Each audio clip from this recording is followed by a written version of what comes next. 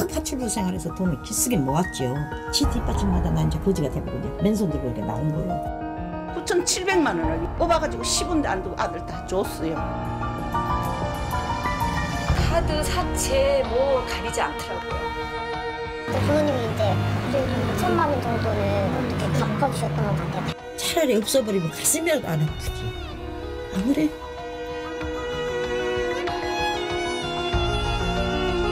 그래서 자식 아닙니까? 내가 사랑해야 될 자식. 근데 애들이 저거 할 때까지는 해야지.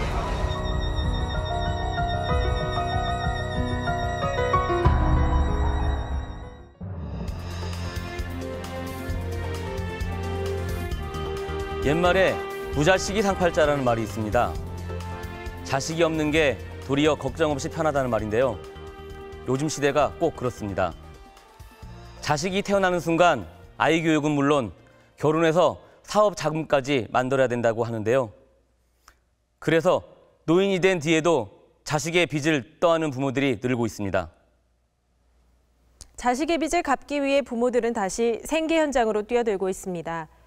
그나마 경제 능력이 있으면 다행입니다. 일할 능력이 없는 부모들은 빚 갚을 길이 막막하기만 한데요. 자식 빚을 떠안고 고통받는 부모들을 취재했습니다. PD수첩 제작진에게 제보 전화를 준 서울 봉천동 장삼수 씨의 집. 그녀의 전 재산인 이 집을 잃어버릴 위기에 처해 있다는 것. 아, 너무 힘들어서 어찌 하면 살 길이 있을까 바로 자식 때문입니다. 그때 내 인생의 처음이에요. 나는 가난하게 살아도 은행 빚이 무섭다고 절대 남에게 빌리러 가는 것도 없지만 없으면 그대로 굶어 죽지. 그렇게 어렵게 살아온 내 세월인데 아들한테는 이 마음이 약하더라고요. 남편과 사별하고 삼남매를 홀로 키운 어머니. 그런 어느 날 아들이 돈을 융통해 달라고 했습니다. 아들이 직장이 그 하니까 뭐를 좀 해보고 집 도 어째 해야 되겠다 이래 해가지고는 그래서 이 집을 어 9천 아니야 9,700만 원을 융자를 처음에 뽑았어요. 뽑아가지고 10원도 안 두고 아들 다 줬어요. 7년 전 집을 담보로 융자 9,700만 원을 얻어 아들에게 건넸고 그 후 둘째 딸이 3천만 원을 얻어가면서 매달 1억여 원에 대한 대출이자 40여만 원을 혼자 감당하고 있습니다. 엄마는 뭐 아이들 사글세를 놓든 방세를 놓든 하고는 나간 후에는 아주 10원 한장 그것도 없고 그때 많이 안 해줬도 오히려 원수 줘서 지금 오고 가지도 않아요. 문제는 자식들이 이자조차 내지 않는 것. 장삼수 씨는 이러다 집까지 잃게 되는 건 아닌가 하는 걱정으로 우울증까지 걸렸습니다. 차라리 지금 생각하면 죽었으면 좋겠어요. 죽고 난 다음에 어찌하든 간에. 그런데 사람들이 보면은 지금 내가 79세인데 80이 내일 모레인데 요즘 90세까지 산다는 이 백세는 막 떨려요 나는. 그건 재앙이다. 나에게는 재앙이다. 내가 그렇게 말을 하고 살아요. 서울의 한 고시원에는 71세가 넘는 할머니가 생활하고 있습니다. 낮에는 파출부, 밤에는 식당 일을 하며 하루 3, 4시간의 쪽잠으로 버티고 있는 정현자 씨. 이곳에서 생활한 지 벌써 두 달째. 지난 겨울도 전기요 하나로 버텼습니다. 나는 괜찮아요. 애래 차라리 마음은 편해요. 안 보니까 한편 생각하면 안 될 거예요. 성공을 해야 할 텐데 못하면 할 텐데 이런 맘만 가. 이런 맘만. 지금 상황이 그래. 전세방을 정리하고 고시원을 선택한 건 자식에게서 벗어나고 싶어서입니다. 지금 마흔 살 먹은 아들 있어요. 마흔 살. 네. 근데 장가를 못 갔지. 아들의 사업 때문에 정현자 씨가 갚아준 빚만 1억 원이 넘습니다. 친구들과 술 마시기 좋아하고 노는 것 좋아하다 보니 지금껏 돈을 모아본 적이 없다고 합니다. 그래도 나는 계속 파출부 생활해서 돈을 기쓰게 모았죠. 컴퓨터 그거 가게. 계속. 응. 그것도 또 내가 얻어줬죠. 어떻게 살려보려고. 그러니까 여, 여자까지 40년 세월을 지 뒷받침마다 나 이제 거지가 돼버리고 이제 맨손 들고 이렇게 나온 거예요. 가게 월세, 직원들 월급까지 버는 돈보다 나가는 돈이 더 많은 아들. 매번 카드 현금 서비스를 받기 일수. 그 빚은 고스란히 어머니의 몫이 됐습니다. 이리 돌려맞고 저리 돌려맞고 하다 보니까 나중에는 막을 길이 없잖아요. 응? 그 나도 모르고 이제 뭐 와서 그 카드사에서 오면 어떻게 자식이고 부모니까 또 이제 사인 다 해주죠. 맨날 시달림을 받는 거야 몇 년을 자식 없는 게 나아요 이럴 때는 차라리 없어버리면 가슴이라도 안 아프지 안 그래? 애진작에 안, 안 낳고 없어버리면 가슴이라도 안 아파. 노후를 즐겨야 할 고령의 나이, 자식의 빚을 떠안은 부모들은 오늘도 깊은 시름에 빠집니다.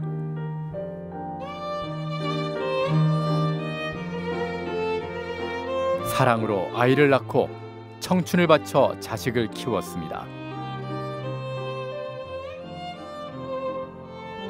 노인이 돼서도 자식을 위해 아낌없이 희생하는 그들, 바로 대한민국의 부모들입니다.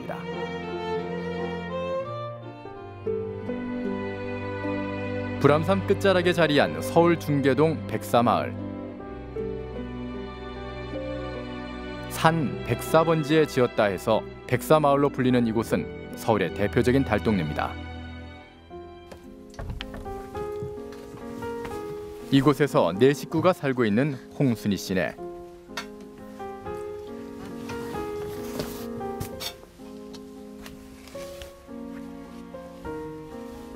햇볕이 안 들어 천정에는 곰팡이가 폈습니다. 그래도 서울에서 전세 500만 원짜리 집이 있다는 게 얼마나 다행인지 모릅니다. 여기서 한 음, 20년 됐을걸요? 여기서 이 집에서만 여기서만 20년. 밖에서 일하느라 바쁜 그녀지만 하루도 잊지 않고 하는 일이 있습니다. 올해 84살 된 친정어머니의 허리 찜질. 수술 시기를 놓쳐 거동이 불편한 어머니에게 할 수 있는 건 찜질로 근육을 풀어주는 겁니다. 그리고 그녀가 돌봐야 할 또 한 사람이 있습니다. 올해 9살이 된 외손자. 돌도 되기 전부터 손자를 돌봐온 홍순희 씨. 아이 엄마였던 딸이 스스로 죽음을 선택하면서부터입니다. 우리 손자가 2005년 10월 29일 날 태어나가지고 8개월 만에 2006년 우리 딸이 어, 6월 29일 날 그렇게 하늘나라로 갔거든요. 갔어요. 8개월 만에 8개월 만에 갔어요. 대학도 가고 싶고 하고 싶은 게 많았던 딸. 가난한 집안 형편 때문에 욕심을 채워줄 수 없었습니다. 결혼 후 아이를 낳은 뒤 우울증에 시달리던 딸은 젊은 여성들처럼 옷과 구두, 가방 같은 상품을 좋아했습니다. 문제는 돈이 없어 빚을 얻어 쓴 것입니다. 화장품 사서 쓰고 그때는 카드가 그렇게 많이 혼칠을 안 했잖아요. 그러다 보니까 이제 외상거래 하다 보니까 또 그렇게 되고 점점 점점 이렇게 갚지를 못하니까 이자에 원금 되고 원금에 이자 되고 막 이렇게 따블 따블 따블 따블 되다 보니까 이렇게까지 왔지. 말을 하자면 돈이라는 건 그래요. 금방 불어요. 딸이 남긴 빚은 천만 원 정도. 그 빚을 갚기 위해 가족들은 카드 현금 서비스도 받고 사채빚까지 얻었었습니다. 7년이 지난 지금 빚은 눈덩이처럼 불어 매달 갚아야 할 이자만 150여만 원. 한 7천 드립니다. 7천. 제가 한 1억을 돌고 이 집사람이 한 40을 돕니다. 지금 이자만 주고 있는 편이죠.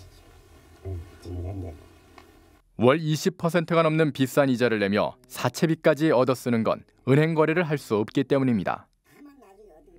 집이 없다 하니까 실력으로 집이 있어도 그 사람들 담보 대출 받아가지고 생활비로 썼다 하더라도 나는 집이라도 있어야 생활 대출 받지.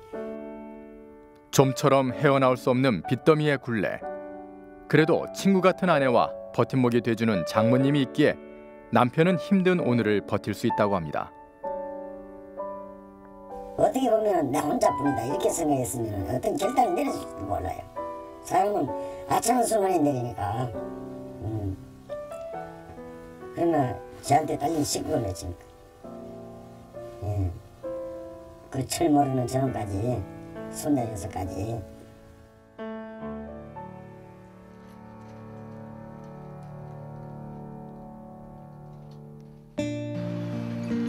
아침이 오면 홍순희 씨의 남편은 유치원과 보습학원의 운전을 담당하느라 바빠집니다.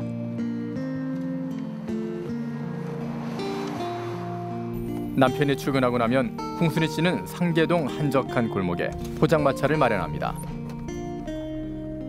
목 좋은 번화가 나 아파트 단지 안으로 들어가면 장사가 더 잘 되겠지만 자릿세를 줄 형편이 되지 않습니다.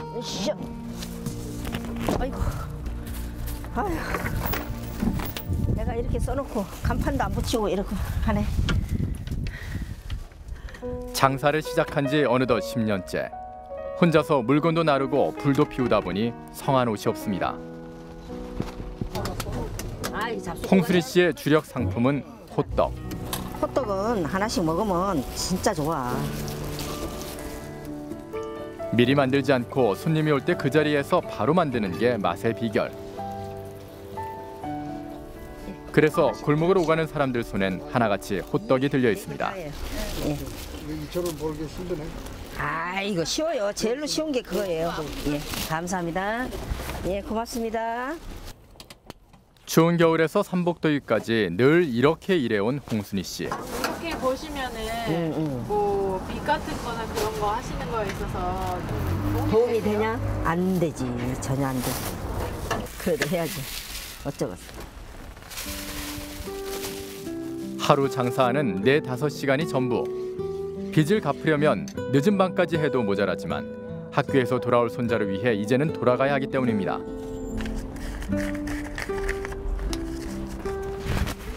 삼만 9천 원. 2만 9천 원. 3만 9천 원. 그렇지 매출 올렸어. 진짜야. 오늘 잘 되신 거예요 그러면? 안 된 거지. 그렇게 해서는 안 되지. 아이고. 자식의 빚을 갚기 위해 호떡 장수가 된 홍순희 씨를 비롯해 생계 현장에서 일을 하는 60대 이상의 부모들. 노후까지 반납하고 취업 전선에 나서는 건 아직도 책임져야 할 자식이 있기 때문입니다.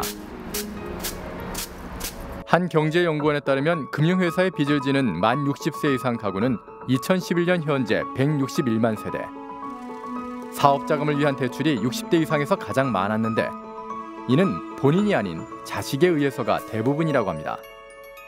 97년, 8년 외환 위기를 거치거나 하면서 자식들이 안 죽는 일자리를 얻지 못하고 그러다 보니까 집을 마련하거나 하는데 굉장히 큰 어려움을 겪고 있습니다. 그러다 보니까 50대 베이비 붐이나 60대 고령층이 자식의 부담까지 이제 떠안아야 되는 그 도와줘야 되는 상황까지 가게 되는 것이고요. OECD 가입국의 노인 빈곤율은 평균 13.5%. 우리나라는 평균보다 3배가 높은 45.1%로 OECD 국가 가운데 세계 1위. 세상이 빨리 변해가지고 이제는 가족 윤리관도 많이 변하고 그래서 이분들이 자녀들한테도 과거처럼 전적으로 의존할 수 없다. 우리 수명이 이제 80세, 90세를 바라보고 100세 시대를 바라보니까 이건 과거에 상상하지 못했던 거죠. 그래서 이제 이건 누구의 잘못이 아니라 고령화 시대의 그 도래로서 나타나는 그냥 일반적인 사회 현상이다. 상가들이 밀집한 서울 종로 지역. 손수레를 끌고 힘겹게 횡단보도를 건너는 노계연 씨. 종이 상자며 재활용품을 줍는 게 그녀의 일입니다. 아우 힘들어요. 응치 뼈가 말라갖고 응치가 아파서 죽겠어 이제 고관절이 아파. 근데 애들이 저거 할 때까지는 해야지. 현실이니까 어떻게 받아들여. 않은 몸으로 하루 종일 걷다 보니 밤에는 발바닥이 아파 잠도 못 이룰 정도입니다. 그렇게 종로의 뒷골목을 돌아다닌 지 어느덧 30년째. 최근 들어 돈벌이를 구하는 노인들이 늘어나면서 상자를 줍는 일도 경쟁이 붙었습니다. 심지어 상자를 훔쳐가는 이들도 있으니 보관도 신경 써야 합니다. 사는 게 사는 게 아니고 요즘에는 그냥 손이 갈라져갖고 이게 독해요 박스가 이런 잉크가 짝짝하려고 손이 아주. 폐지 1kg에 약 90원. 이것도 매일 시세가 다르다고 합니다. 왜 그렇게 장사가 안 되는 거예요? 보통 아침에 몇 시에 나오세요?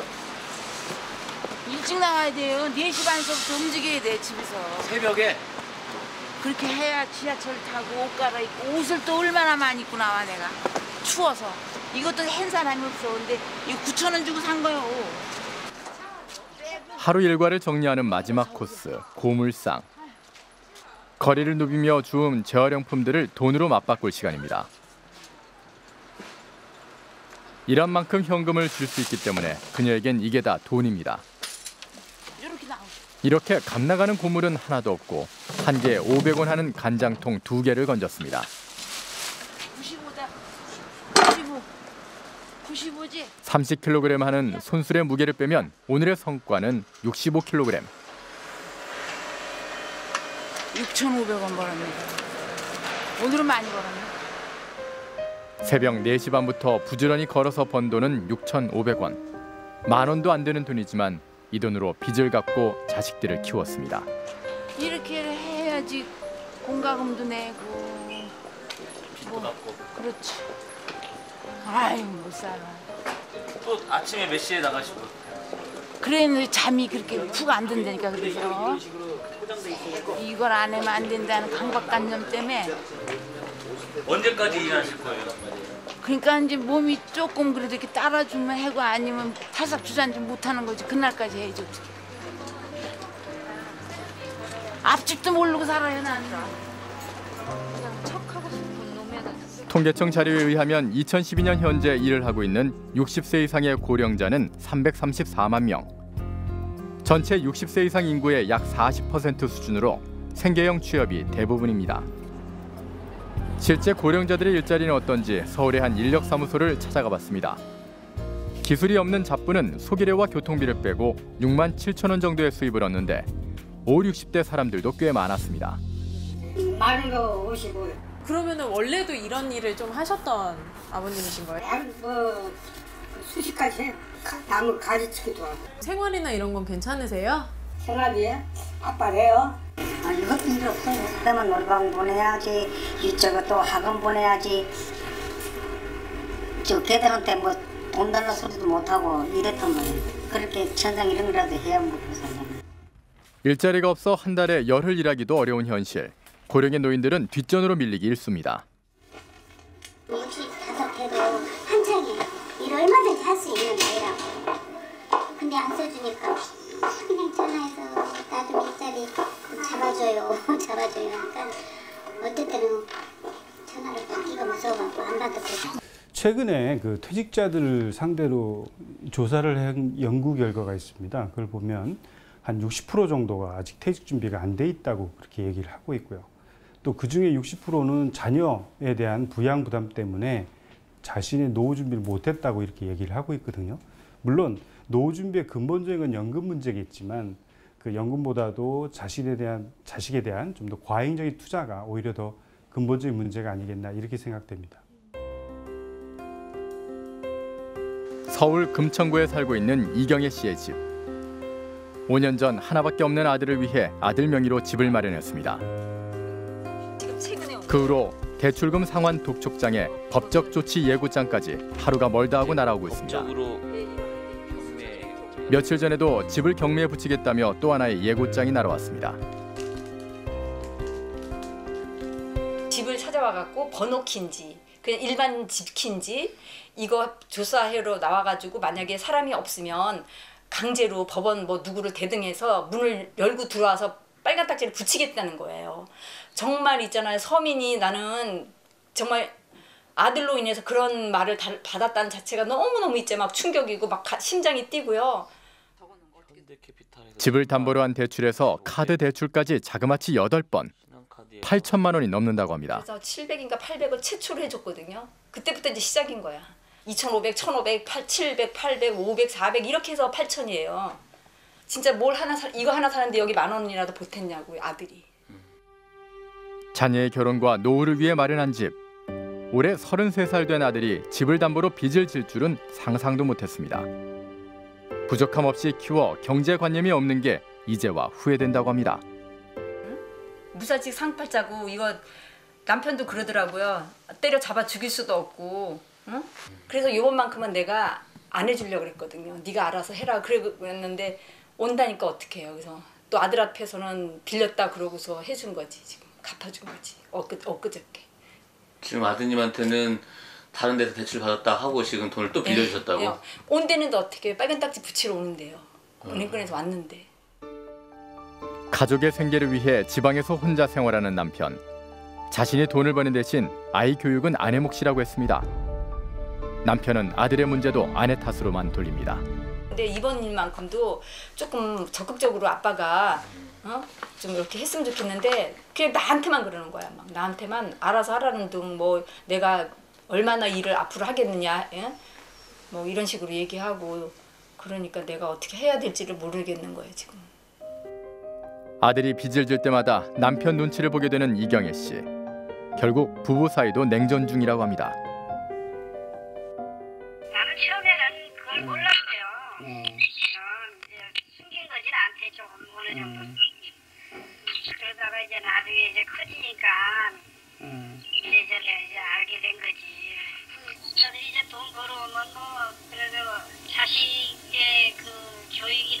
거는 엄마 쪽에서 이렇게 많이 저걸 하는 걸로 이제 그랬는데 왜냐면 남자들은 아침에 나가면은 저녁에나 들어오잖아요. 그렇죠. 그러니까 뭐 요새 애들이 또 집에 뭐 있다 그러니까 아들 애들하고 그렇게 대화나 뭐 이런 할 시간은 그렇게 많지가 않죠. 남편과 아들 때문에 말이 없어진 이경애 씨. 제발 아들이 왜 돈을 빌리고 어디에 쓰는지 그 이유라도 알았으면 좋겠다고 합니다. 제작진은 이경애 씨의 동의를 받아 집안에 관찰 카메라를 설치하고 사실 여부를 확인해 보기로 했습니다.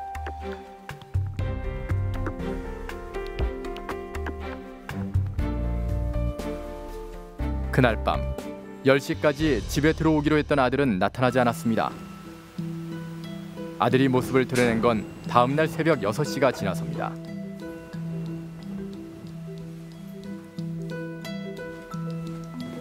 집에 들어오자마자 거실 소파에 누워 TV를 시청하다 잠이 든 아들.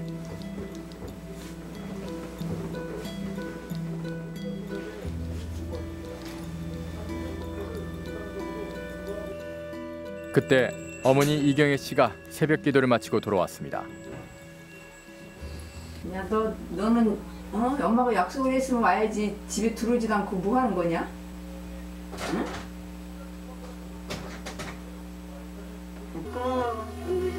일어난다며? 일곱시라 지금 일곱 시다 돼가는데 뭘?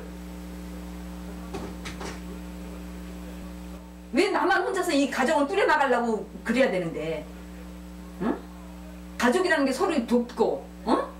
힘들면 힘들 힘들다고 위로해주고, 어? 그런 말 한마디도 필요한 거 아니야? 그게 맞지 이거 몰라? 나 힘들어. 나 진짜 너무 힘들어 지금. 내가 미처 안 나가 날뛰지 않는 게 난 진짜 응?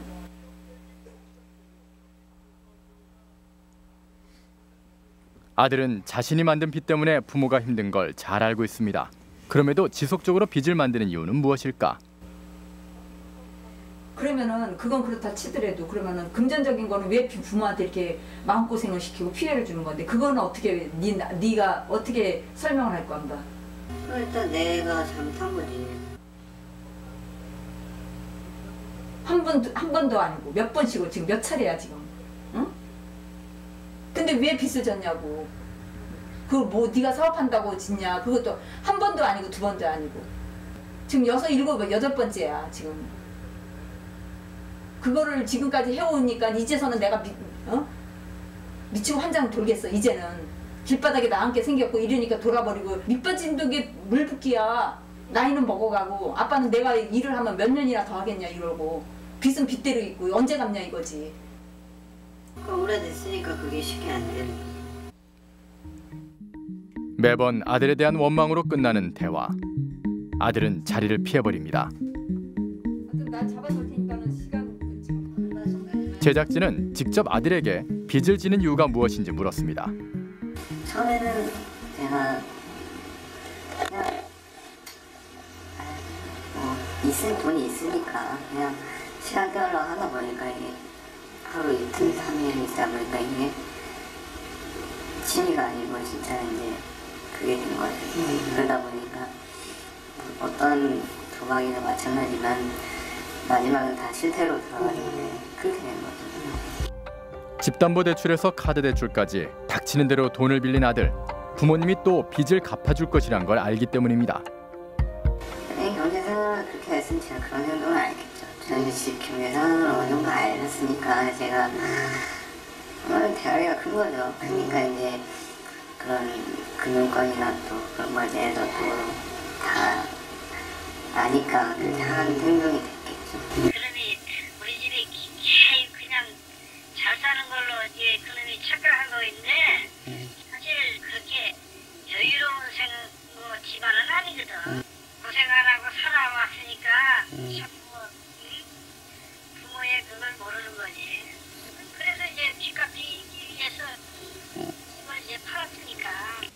어떤 부모는 얘기 들어보면 그러더래 그러던데요.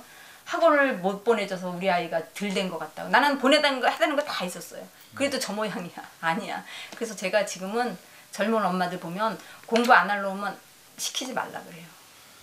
그거 따로 노후 대책 해 놓으라 그래요. 저 그렇게 얘기하고 있다니 젊은 엄마들 보면. 부모 맘도 몰라주고 빚을 만드는 아들. 자식에 대한 배신감 때문에 욕도 하고 소리도 질렀습니다. 그런 자신이 괴로웠던 이경애 씨.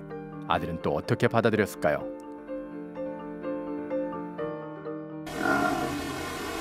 뭐 저희 부모님을 원망하고 뭐 질책하고 그런 건 아니지만 어, 사람 역시 배워야 된다는 생각을 좀 했어요. 아무리 해도 그러니까 그게 이제 나중에는 빈도의 경찰로 보여지더라고요. 그러니까 예. 그래서 뭐 제 부모님이 못 배웠다는 얘기는 아니지만 그래도 어, 어느 정도의 그런 갭은 발생한다. 그래서 빚을 만드는 건 비단 한 사람만의 문제가 아닙니다. 술과 노래가 있는 음주 문화 때문에 쉽게 카드를 만들어 사용하고 부족하면 돈을 빌려 쓰는 젊은이가 많다고 합니다. 그러니까 미리 일단 빌려놓고 나중에 돈 생기면 갚고 일을 또 하면은 다음 달에 들어오니까 그때 갚아야지 그런 편이에요. 젊은이들의 씀씀이가 커진 건 대부업체에서 쉽게 돈을 빌릴 수 있기 때문입니다. 금융위원회에 따르면 2012년 6월 말 대부업체 이용자는 약 250여만 명. 돈을 빌리는데 어떤 절차가 필요한지 확인하기 위해 직접 해당 업체를 찾아갔습니다.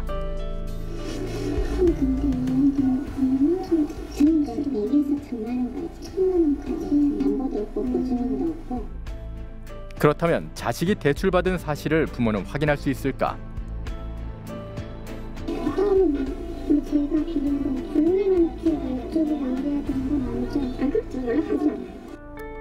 그 중에서도 불법 사채 시장은 연이율이 수십에서 수백 퍼센트에 달해 채무자들의 심각한 피해를 낳고 있습니다. 사채라는 것은 등록 대부업이 아니고 등록하지 않는 불법 대부업체나 혹은 개인적인 그런 이제 돈을 쓰고 있는 건데 그 금리가 보통 7, 80%에 달하는 엄청난 살인적 고금리거든요. 그래서 한 번 불법 사채에 발을 들이면은 개인으로서는 회복하기가 힘듭니다. 빚을 권하는 사회, 빚지는 젊은이들, 여기에 절제 못하는 소비 욕구도 한 몫을 하고 있습니다. 제작진은 빚 때문에 심지어 강남의 한 유흥업소에서 일하게 된 여성들을 만나봤습니다. 빚이 얼마나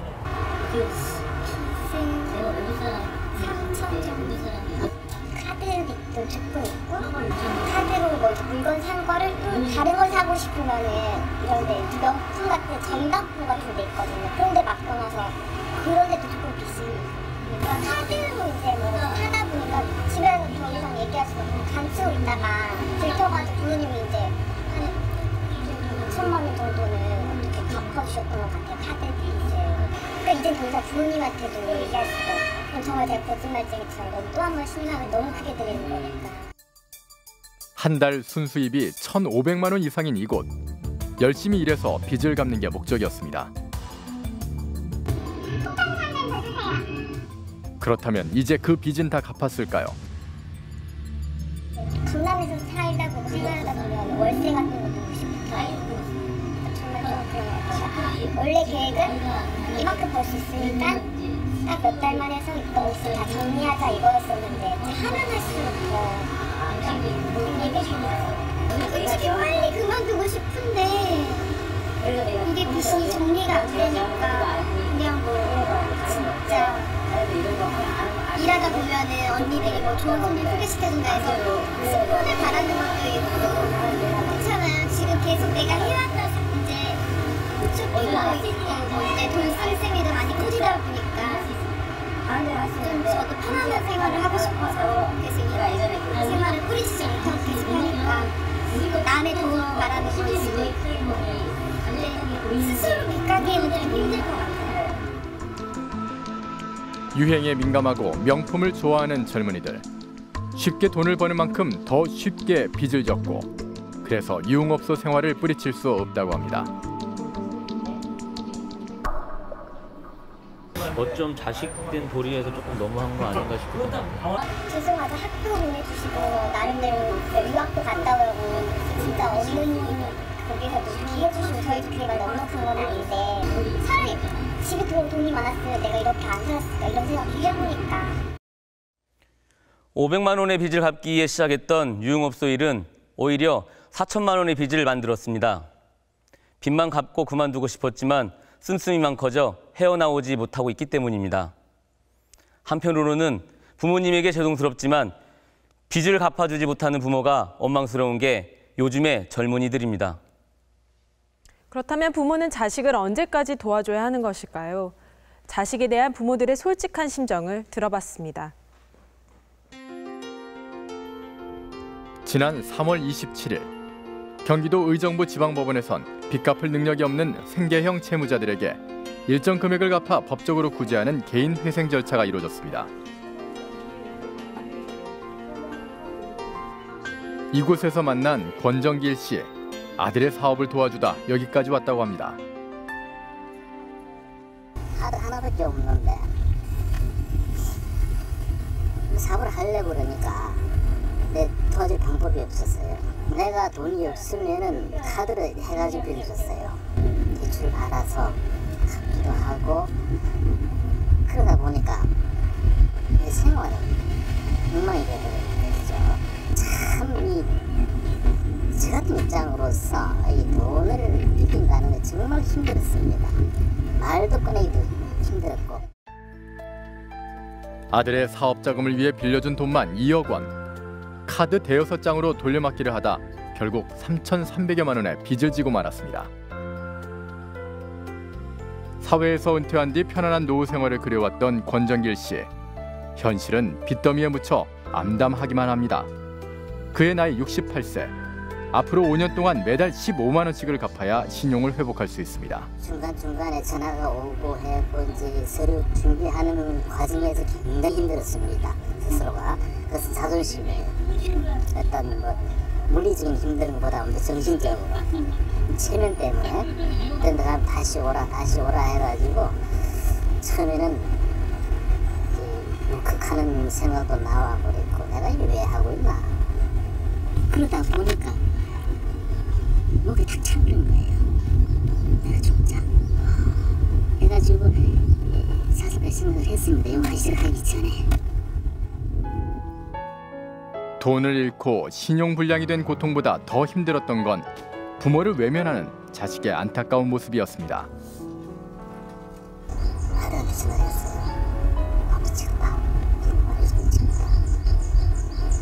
미안해요. 한마디 했으면 괜찮았어요. 좀 이해해야죠. 그 한마디에 둔또 또 쓰러졌어요. 그냥 우리를 이해해달라 이렇게만. 아버지가 이해를 하라. 나는 모른다 이런 뜻이에요. 자식 때문에 눈물을 흘리고 갚아야 할 빚 때문에 막막하기만 한 현실. 그래도 아버지는 아들을 기다릴 생각입니다. 자식은 부모를 버려도 부모는 자식을 버릴 수 없기 때문입니다. 자식이 빚을 만들었어도 사회적 활동을 위해 부모가 대신 빚을 떠안는 오늘. 부모는 자식의 빚을 갚기 위해 은퇴 이후 건설업에서 경비, 주차 요원까지 생계형 취업에 나서고 있습니다. 하지만 빚을 갚을 능력이 없는 부모들은 대한법률구조공단 파산센터를 찾고 있습니다. 실제로 어, 오시는 분들 한 3분의 1 정도는 거의 60세 이상 되시는 분들로 보이고요. 이제 그런 분들 같은 경우에 대부분의 그 사연들이 자녀분들 때문에 인한 게 이제 대부분이 그렇게 돼 있습니다. 물론 본인이 그 뭐 사업을 하다가 실패해서 이제 그런 부분들도 있긴 있는데 그래도 또 상당수는 자녀분들 뒷바라지 해주기 위해서라든가 뭐 사업 자금 대신 어떻게 해준다든가 뭐 이런 문제들 때문에 또는 자녀들 뭐 하는 거에 보증을 서준다든가 이렇게 해서 예, 지금 안 그래도 노인 빈곤층 많다 그러는데 그런 것 때문에 문제가 심각한 분들이 많이 있습니다. 만약 자식이 카드 빚을 갚지 못할 경우 부모라 할지라도 갚을 필요가 없습니다. 하지만 부모의 명의를 빌려줬다면 상황은 다릅니다. 항상 이제 이런 경우가 많이 있어요. 보면은 일단 그 자녀분들이 뭐 사업을 한다거나 그렇게 되는데 자녀분들이 아직 그 사회적으로 크게 뭐 이제 신용 관리라든가 이런 걸 안 하게 되면 부모님 명의를 이제 이용해서 하게 되는 경우가 있죠. 부모님 예전에 이제 좀 어느 정도 장만하고 살았다거나 그렇게 됐을 때는 부모님이 그냥 이제 자기 도장을 주거나 그냥 서류만 갖고만 알아서 이제 사인해 주거나 이런 경우에는 책임을 져야 됩니다. 잘 모른다고 할지라도. 경기도의 한 재래시장에 금융 상담을 지원하는 버스가 찾아왔습니다. 자식 빚 때문에 고민이 있어도 금융기관을 찾기 어려운 사람들에게 서민 금융기관 전문가가 상담을 지원하는 것. 고금리를 저금리로 바꾸는 전환 대출에서 신용 회복과 채무 조정까지 제공되는 원스톱 종합 상담 서비스. 저소득층에게 유용한 정보가 될 수 있습니다. 많이 몰라가지고 이 제도를 이용하지 못하는 분들이 상당히 많은 것 같습니다.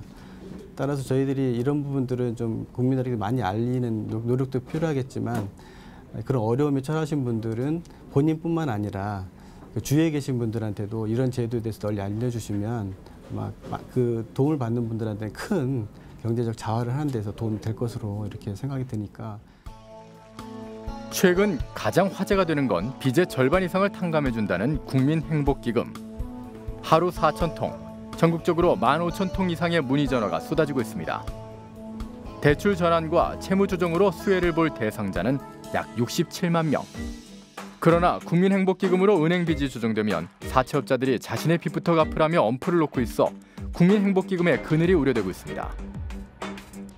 저소득층 400만 가구 중에서 약 50만 가구만 혜택을 받도록 되어 있기 때문에 나머지 담보대출 받은 100만 가구, 그 다음에 어, 사채 시장에 의존하고 있는 250만 가구는 아무 혜택을 받지 못하기 때문에 그런 저소득층들이 정말 어려운 입장에 있는 사람들에게는 혜택이 가지 않고 있는 부분이 있다 해서 제가 보기에는 조금 더 금액을 늘렸었으면 좋겠다는 생각을 가지고 있습니다. 지난달 27일 여의도에선 중장년들을 대상으로 한 일자리 박람회가 열렸습니다. 건설에서 통신, 서비스, 제조 등 30개 기업에서 50세 이상의 사람들을 대상으로 면접을 보고 채용까지 할 수 있도록 한 것. 그중엔 은퇴 직후 찾아온 사람들도 있었습니다. 근데 정년이라서 잘렸어요. 어, 언제요? 2월 28일이요. 음, 무슨 일 하시다가? 저는 어린이집에서 저기 취사부에 있었어요. 예. 근데 제가 6월 28일부로 하고 났는데 3월 달부터 또 60세로 정년이 늘어났다 그러네요. 아이고. 지금 공공 근로 하고 있어요. 이, 이, 이달까지 내일 모레까지. 근데 오늘 또 교육 있다고 가보라고 해갖고 왔죠. 너 있어. 또 일자리 알아봐야 되니까. 예예 예. 아 우리 같은 사람은 몇 번 이력서 내도 안 돼요. 이 세번 쳐내갖고 공공로 해갖고 지금 3개월째 하고 있는데 가만있어 봐. 이거 우리 떨키면 안 되는 게 잠깐 끝입니다. 회사에선 은퇴할 나이지만 아직 결혼시킬 딸이 있고 직장을 못 잡은 아들이 있습니다. 그래서 휴식과 여유를 즐길 겨를도 없이 부모들은 또다시 사회 진출을 꿈꾸고 있습니다. 자신의 노후보다 자녀의 행복이 중요한 대한민국의 부모. 과연 언제까지 자식을 도와줘야 하는 것일까요? 아, 저는 학교 다닐 때까지는 음, 해줘야 되고 나머지 학교 졸업하면은 그건 본인들의 책임이라고 생각해요. 자녀가 결혼해가지고 뭐 행복하게 사는 모습까지는 해줘야죠. 예, 여유가 있으면 힘 닿는 데까지는 해줘야 돼요. 근데 지금 상황에서 만약에 아버님도 지금 여유가 없으시잖아요. 예. 그런 일이 벌어졌어요. 그럼 어떻게 하죠? 뭐 안타깝고 가슴 아픈 일이지. 못 도와주니까.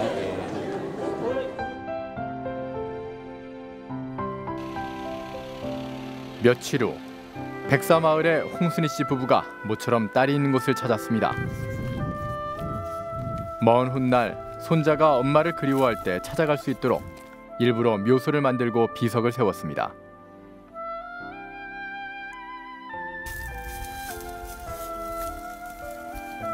딸의 무덤 앞에서 말없이 잡초만 정리하는 홍순희 씨. 얼마 만에 오신 거예요? 한 2년 만에 온 것 같은데요. 바쁘셔가지고요. 아니 그냥 오늘 오고 싶지 않더라고요. 왜요, 어머니? 그냥 가난한 부모 때문에 빚을 지고 짧은 생을 마감한 딸. 부부는 아직도 죄책감에서 벗어나지 못하고 있었습니다.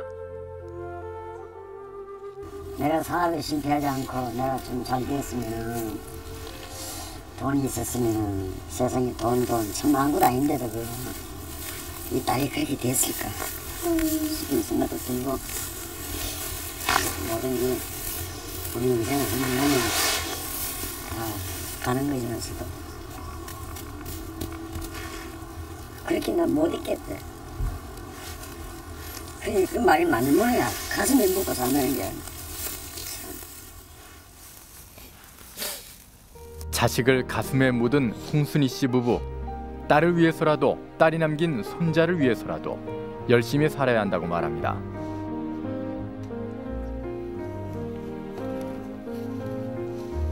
하지만 7천만 원의 빚과 비싼 사채 이자를 갚는 건 쉬운 일이 아닙니다. 그래도 부모이기에 건강이 허락하는 한 자식의 빚을 갚아나갈 계획입니다.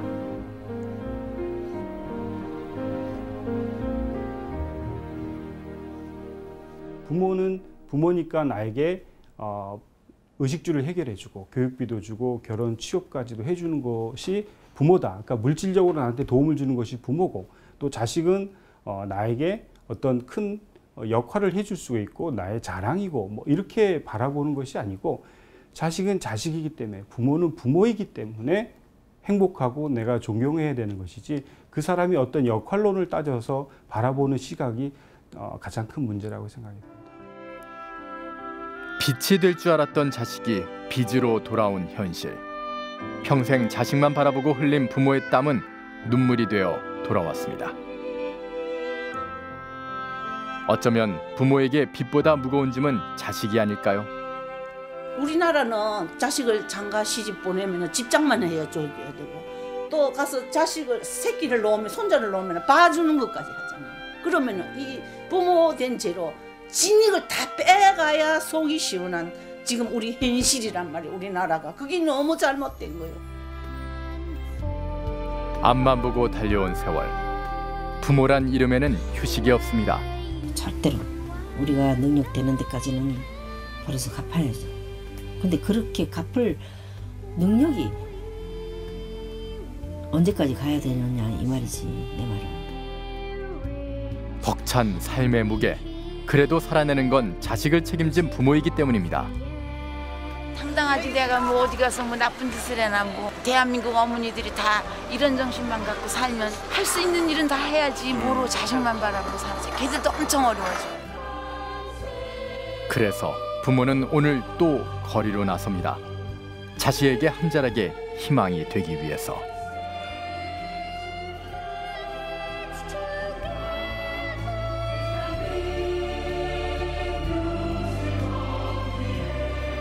자식 때문에 빚을 지고 거리로 내몰린 부모들. PD 수첩이 만난 부모들은 하나같이 똑같은 말을 건넸습니다. 자식은 부모를 버려도 부모는 자식을 버릴 수 없다고 말합니다. 자식을 위해 아낌없이 희생하는 부모들을 보면서 우리 시대 가족의 소중함을 생각했으면 하는 바람입니다. 피드수첩 오늘은 여기까지입니다. 시청해 주셔서 감사합니다.